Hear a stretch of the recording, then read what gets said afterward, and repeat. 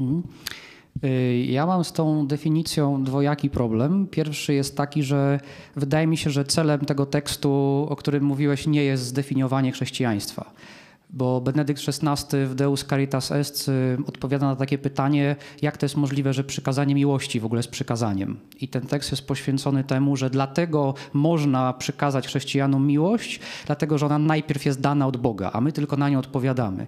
I teraz wyciąganie y, tego stwierdzenia jako definicji chrześcijaństwa wydaje mi się no nie do końca zgodne z intencją autora tego tekstu, tak jak ja go rozumiem.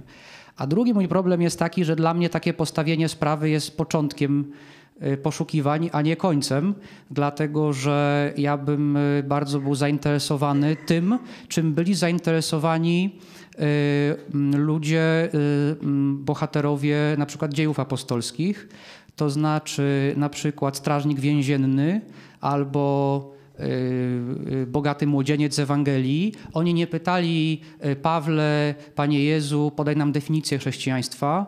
Oni pytali, co zrobić, aby, aby osiągnąć życie wieczne. Odpowiedź była kochać.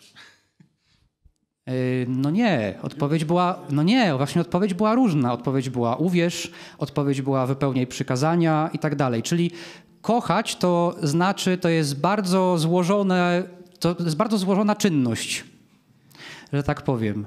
I sama, sam, nowy, sam, sam Nowy Testament udziela bardzo różnych konkretnych odpowiedzi, co i jak to może znaczyć. Może to jest kwestia jakiegoś mojego ograniczenia, ale ja po prostu, może tym się fundamentalnie różnimy z Bogdanem.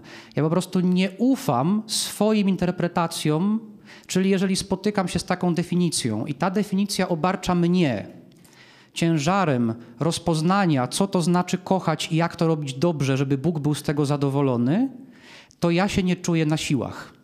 I dlatego szukam od Boga odpowiedzi, a nie ode mnie.